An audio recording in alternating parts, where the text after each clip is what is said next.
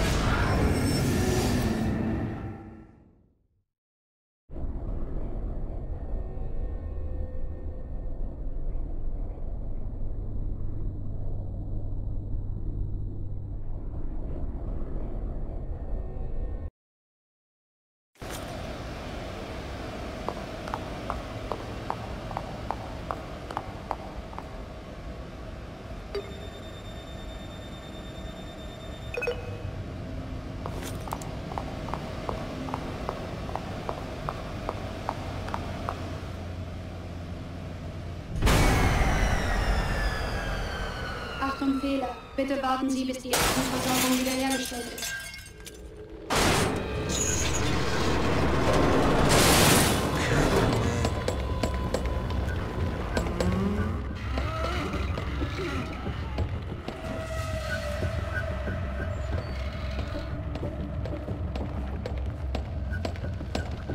Energie wieder bei 20 Prozent.